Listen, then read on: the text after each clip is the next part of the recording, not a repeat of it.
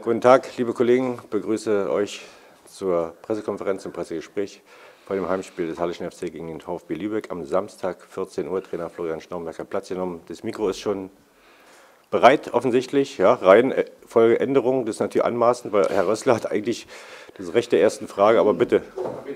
Aber bitte, kann losgehen. Ja, ich frage mal direkt zum Personal. Gibt es da was Besonderes zu vermelden? Also Marcel Titsch Rivero, der er konnte ja Anfang der Woche nicht mittrainieren. Ist er dann trotzdem eine Option auch für die Startelf?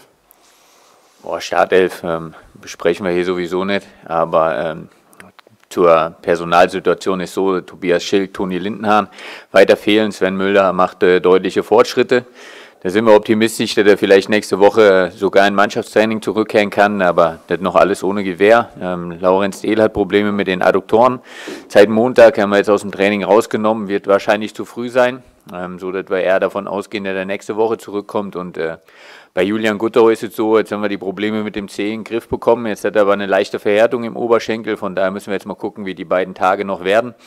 Alle anderen äh, sind soweit im Training und äh, ja, wir freuen uns, dass wir im Moment auf dem Rasenplatz trainieren können und äh, kann uns nur gut tun, wenn wir damit unseren Rhythmus, unseren Trainingsrhythmus irgendwann finden.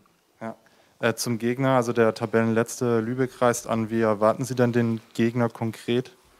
Ich finde, man sollte in der Liga nie den äh, Fehler machen, äh, nach Tabellenplätzen zu urteilen, weil äh, Lübeck auch in der Hinrunde, ich glaube, nach dem Spiel gegen uns, wird sehr, sehr umkämpft war, wie wir alle wissen. Wir in der letzten Minute mit 3 zu 2 für uns entschieden haben. Dann gab es nochmal 10 Minuten Nachspielzeit wegen einer kaputten Eckfahne und einer Platzwunde, die wir damals hatten. Also er war einen ähnlichen Fight und der Lübeck schon gezeigt hat, dass sie gute Mannschaften schlagen können. Da war in der Hinrunde war der Viktoria Köln fair dabei, Bayern. Also auf keinen Fall werden wir die Mannschaft unterschätzen. Wird eine Mannschaft sein, die eine gute Mentalität hat, die immer wieder auf den Platz bringt, die gefährlich ist mit ihren äh, schnellen Spielern nach Ballgewinn im Umschalten. Und alles andere ist natürlich auch davon abhängig, was können wir auf den Platz bringen. Und ich denke, wir haben das eine oder andere gesehen, was wir besser machen wollen. Und äh, wenn uns das gelingt, ist unser Anspruch natürlich auch der, das Heimspiel hier zu gewinnen. Ist ja klar. Äh, Nochmal zum Gegner. Jetzt war ja ein bisschen Unruhe da im Umfeld, da der Vizekapitän wurde suspendiert erwarten Sie dann doch, dass da eine bestimmte Reaktion vom Gegner auf den Platz kommt, dass das ein Faktor sein könnte? Ja, das werden wir dann sehen. Aber wie ich, wie ich gerade Lübeck beschrieben habe, so erwarten wir ihn auch. Er wird eine Mannschaft sein, die alles geben wird. Das haben sie in jedem Spiel getan. Warum es dann in dem einen oder anderen Spiel äh, nicht zu, zu mehr Punkten gereicht hat, das ist nicht unsere Aufgabe. Es ist wichtig für uns, eine gute Leistung hier abzuliefern, eine bessere als letzte Woche. Bin aber optimistisch, dass uns das gelingen kann. Und dann wäre es sehr, sehr schön, wenn wir mal wieder einen Heimsieg landen würden. Äh, ja, Sie wirkten ja etwas, sag mal, unentspannt. Äh, so Anfang der Woche. Geht's denn wieder? Also Anfang der Woche war ich schon entspannt, aber am Wochenende eher unentspannt. Ja, das ist schon so, weil es seit ein paar Tage beschäftigt hat und geärgert hat weil wir kein gutes Spiel gemacht haben und dann verloren haben. Wir sind nach Meppen gefahren und wollten punkten oder unsere gute Statistik erhalten, über die wir vorher gesprochen haben. Das ist uns nicht gelungen und dann ist man natürlich enttäuscht, aber auch verärgert. Ansonsten äh, habe ich mich dann wieder beruhigt, ja, weil äh, ich auch weiß, wie oder wir auch wissen, wie wichtig das ist, äh, mit der nötigen Lockerheit an die nächsten Aufgaben ranzugehen. Ich möchte trotzdem noch mal auf diese Konstellation eingehen. Ich meine, jemand, der letzter der Tabelle ist, steht irgendwo, wenn es nicht gerade nach dem zweiten oder dritten Spieltag ist, ja nicht, nicht umsonst da unten. Also irgendwas muss sie ja dahin gebracht haben. Ähm, und am Ende fragt man sich natürlich auch, gegen wen willst du denn jetzt hier diesen, den ersten Sieg seit, seit FCM hier wieder einfahren, wenn nicht halt gegen den Tabellenletzten? Ist das jetzt auch so ein, doch mal ein Anlass zu sagen, also wir, wir setzen mal wirklich jetzt mal volle Pulle Offensive und ähm, ja, versuchen hier mal wirklich ein Feuerwerk abzubrennen? Also generell sehe ich äh, gewisse Dinge immer nicht so dramatisch, ja, weil ich immer versuche, alles realistisch einzuschätzen. Und ich habe gerade eben schon gesagt, wir sollten Lübeck auf keinen Fall unterschätzen und auf keinen Fall in diese Kontersituation permanent reinlaufen, wenn wir Ballverluste haben. Dass wir uns in gewissen äh, Phasen des Spiels verbessern wollen, ob das die Passqualität ist, wir können besser flanken, ja, ähm, dann glaube ich, ist die Wahrscheinlichkeit, dass wir mehr Tore erzielen als zuletzt groß. Ansonsten, wir haben ein Spiel verloren, damit waren wir gar nicht zufrieden, ja, aber das ist auch kein großes Drama bei mir jetzt ausgebrochen. Ja, ich habe irgendwie gelesen oder gehört, ähm, ja, ähm, wie war das, keine, keine Entwicklung bei uns. Ich sage, wir haben äh, aktuell einen Punkt weniger, wie damals, wo wir angefangen haben, nach 30 Spieltagen, da hatten wir 33. Ja, von daher bin ich immer ein positiv äh, eingestellter Mensch und sage, in den nächsten fünf Spielen können wir auch eine Menge Punkte holen. Und so gehen wir auch den Samstag an. Ja, und dann ähm, haben wir ja vielleicht doch eine Entwicklung. Ja, das ist jedenfalls unser Ziel. Ja, ich habe den Artikel auch gelesen, da ging es ja tatsächlich mal um den Punktevergleich und die Situation wurde in der letzten Saison ja nun von allen Seiten als dramatisch eingeschätzt. Und jetzt war ja wohl der Eindruck, hier schätzen es manche als vielleicht zu wenig dramatisch ein. Äh, ist denn die Botschaft, äh, die Sie ja wohl auch transportieren wollten, Leute, jetzt lehnt euch hier nicht zurück und denkt, alles schön, wir machen das schon, das, das läuft schon, äh, ist die angekommen? Also nochmal, wir haben ein Spiel verloren, waren damit nicht einverstanden. Ja, ich bin kein Freund davon, jetzt zu sagen, die nächsten fünf Spiele holen wir einen Punkt, ja, weil die wollen wir erstmal spielen. Ja. Und danach kann man immer noch reden. das ist schon mal eine ganz, ganz andere Voraussetzung. Wir befinden uns immer noch äh, in Zeiten von Corona. Ja, äh, wird auch immer schnell vergessen. Ja, der Verein macht aktuell äh, einen richtig guten Job.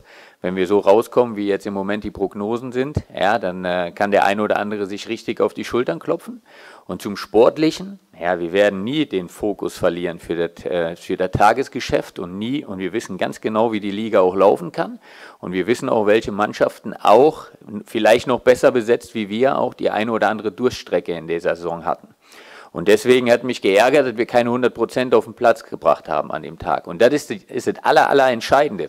Wenn wir 100 Prozent auf den Platz kriegen, können wir punkten. Wenn nicht, dann holen wir wenig Punkte. Und die Botschaft, die haben wir der Mannschaft auch weitergegeben. Da waren wir sehr selbstkritisch, wie wir immer sind. Und nochmal, ähm, wir wissen ganz genau, wir haben keine gute Leistung gebracht, auch wenn wir das jetzt heute schon öfter gehört haben. Aber wir haben am Samstag ein Spiel vor uns, das wir erstmal beeinflussen können und wird wir, bevor das Spiel angepfiffen wird, noch nicht verloren haben. Wie viel, wie viel ähm, Auswirkungen, positive auch so im, im Befinden erwarten Sie denn allein durch die Tatsache, dass wir wieder einigermaßen vernünftiges Wetter haben, dass man diesen Geruch von Gras wieder mal in der Nase hatte, äh, macht das was aus? Macht unglaublich viel aus, ist ein richtig gutes Gefühl, ja, wenn man äh, Anfang der Woche hierher kommt und weiß, man darf auf, ähm, auf einem Rasenplatz trainieren. Ja, und nicht wie in den Wochen vorher, dass man gar nicht weiß, wo man überhaupt trainieren kann habe vor dem Spiel letzte Woche gesagt, es darf uns kein Alibi geben. Andere hatten auch schwere Bedingungen. Ja, so ist es auch. Und trotzdem wird uns jede Trainingseinheit auf einem normalen Untergrund unglaublich gut tun, unseren Rhythmus zu finden. Weil seit Januar hatten wir keinen Trainingsrhythmus, jedenfalls keinen Bekannten oder Gewohnten, den wir. Nochmal, ist aber keine Ausrede, ist nur eine Analyse. Ja, wir wollen besser Fußball spielen wie letzte Woche, aber bin mir ganz sicher, dass wir das auch zeitnah tun werden. Ähm, auch wenn Sie jetzt wahrscheinlich ja nicht konkret werden, das kennen wir und das verstehe ich auch ganz, aber könnte es sein, dass wir am Samstag den Zettel in die Hand kriegen und staunen werden, wo die Aufstellung draufsteht? Ab wann würdet ihr denn staunen? Ja, so vier, fünf Veränderungen. Ja, nochmal, wir haben noch äh, tatsächlich zwei Trainingstage, haben gleich eine Videoanalyse, das sind heute im Stadion, das ist auch nochmal ein wichtiger Eindruck. Ähm, eine Idee haben wir jetzt schon im Kopf werden nicht alles über den Haufen werfen, das kann ich jetzt schon sagen. Und trotzdem sind die zwei Tage auch nochmal wichtig. Wie weit wäre Julian Guttau? Der hatte zwei Tage richtig gut trainiert. Ja, in der Verfassung, wie er sich im Training präsentiert hat, kann er uns immer helfen. Ja, müssen wir aber auch gucken, ob wir verletzt dann riskieren würden. Das sind halt so die Dinge. Also fünf Änderungen, die habe ich aktuell nicht im Kopf, aber die eine oder andere natürlich. Und werden wir dann mal gucken, wie wir das angehen.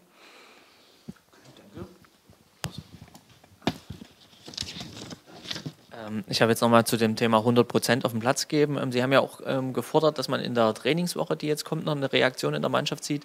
Hat man denn auch die 100 Prozent jetzt in der Trainingswoche bei Ihren Spielern gesehen, dass der Vollgas ist, dass man sagt, okay, wir hatten ein blödes Spiel und jetzt aber jetzt erst recht? Ja, na klar. Ich meine, ist bei den Jungs ja wie bei uns im Trainerteam auch. Die freuen sich einfach, dass wir jetzt ähm, mal wieder normale Trainingsbedingungen haben.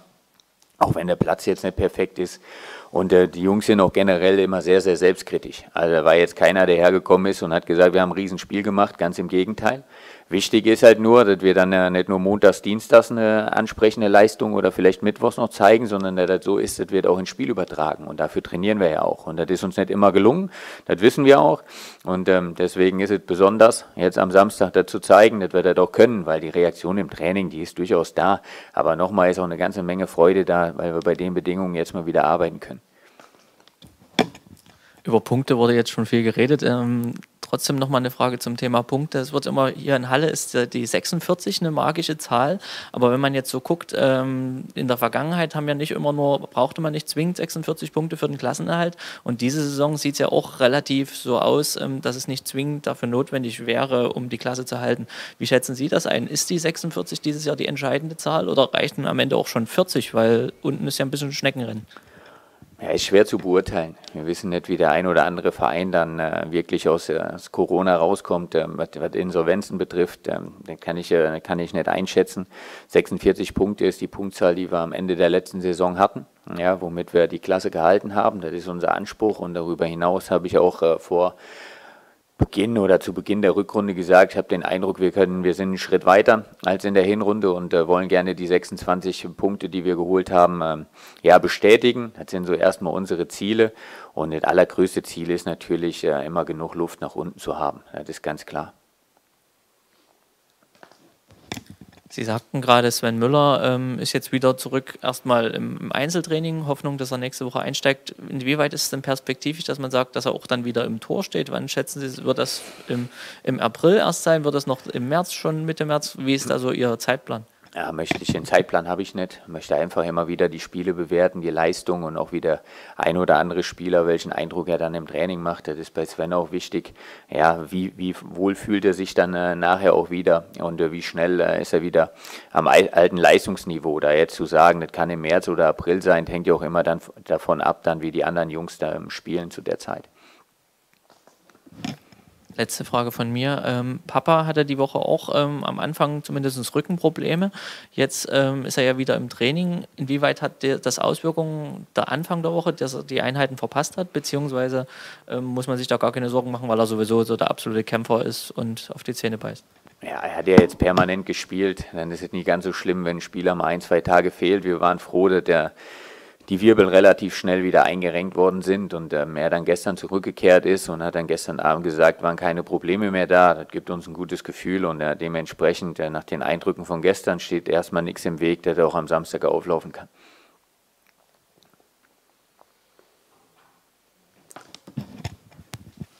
Ich muss nochmal aufs Schlimme ja, ähm, Frage der, des Kopfes. Äh, Mappen war für meine Begriffe auch schon so eine Art Kopfspiel, weil wir dachten, naja, die machen wir schon weg irgendwie. Äh, Gerade jetzt vom, vor dem Spiel gegen den Tabellenletzten, also Lübeck, äh, was, was machen Sie, um diese Mentalität gar nicht erst aufkommen zu lassen oder wenn sie schon da ist, die aus den Köpfen der Spieler rauszuprügeln? Also ich muss sagen, äh, wir hatten den Eindruck nicht, die machen wir so einfach weg. Ich denke eher, das hängt dann vielleicht auch mit vergangenen Spielen zusammen und äh, dass man uns zugetraut hat, da zu gewinnen, ist erstmal positiv und das war auch unser Anspruch. Aber ich glaube, wir alle wissen, wie, wie umkämpft jedes Spiel ist und das möchte ich auch nochmal, deswegen erinnere ich nochmal gerne an Lübeck. Wissen alle, was das für ein Fight war, ja, ähm, wie viel Energie wir gebraucht haben, um das Spiel zu gewinnen. Und ähm, am Samstag wird eine Mannschaft hier sein, die, die auch alles geben wird. Da bin ich mir relativ sicher. Und für uns ist natürlich klar, dass wir ein paar Kleinigkeiten wieder verbessern wollen, die wichtig sind, weil wir auch Spiele gewinnen wollen, weil deswegen treten wir an. Und ihr wisst alle äh, in den Spielen vor, vor Meppen, ähm, wenn die, die äh, Partien dann oft unentschieden geendet haben, dann war ja selten so, dass wir total zufrieden waren danach. Also der Ehrgeiz ist groß. Und deswegen mache ich mir da keine Gedanken, dass wir jetzt einen Gegner unterschätzen würden, weil dafür sind die Spiele zu eng. Aber die Unentschieden sind ja meist auch gegen äh, ordentliche Gegner zustande gekommen und gegen die vermeintlich Schwächeren. Ist irgendwo bei mir im Hinterkopf so eine Art Erfahrung. Äh, haben wir, die haben wir aufgebaut, da haben wir die Punkte hingeschenkt. Also ich kann es jetzt nicht konkret belegen, aber der Eindruck ist einfach da. Aber konkret belegen ist ja dann da durchaus wichtig. Ich glaube, wir haben gar nicht gegen so viele Mannschaften verloren, die jetzt hinter uns standen in der Tabelle. Ich habe aber jetzt da keine Statistik im Kopf, da muss ich passen. Ich denke, Meppen war jetzt eine der wenigen Mannschaften. Mhm. Ähm, wenn sich was verändert hat in den paar Rückrundenspielen, äh, Mr. Heinz, wir haben gegen die Mannschaften, die wir in der Hinrunde verloren haben, unentschieden gespielt. Und äh, mit Meppen haben wir damals einen Heimsieg gelandet. Das Spiel haben wir verloren. Von der Punktzahl ist es die gleiche. Unsere, unser Torverhältnis ist, glaube ich, ein Tick besser. Ja? Aber viel mehr ist auch nicht passiert. Ne? Und jetzt ist wichtig, trainieren, ja? Rhythmus finden, gute Spiele machen, Spiele gewinnen, damit wir alle äh, dann auch in die Woche starten, ohne in die nächsten Wochen starten ohne Frust. Ja, dafür werden wir hart arbeiten am Samstag. Ist klar, wo ich hin wollte. Ne? Also es war jetzt nicht, ich wollte jetzt hier nicht anfangen zu stänkern. Aber Nein, um Gottes Willen, nee, alles, alle, alles gut.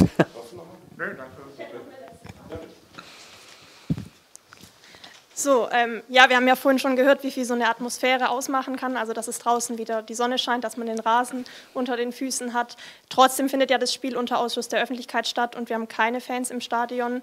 Gibt es da schon eine Perspektive für den Frühling, ob es vielleicht, wann es wieder in Richtung Fans im Stadion geht?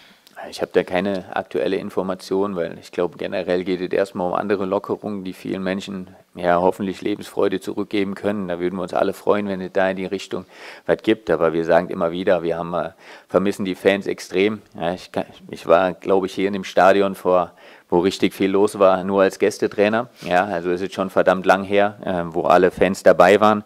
Und das macht natürlich eine ganze Menge aus. Und an dem Tag, wo, wo normale Bedingungen herrschen, ja, den sehen wir alle herbei und wäre unglaublich toll. Ja, auch für unsere Fans. Ich denke, der ein oder andere, der Frust sitzt tief, wenn sie nur von zu Hause gucken können. Ja, vermissen wir extrem.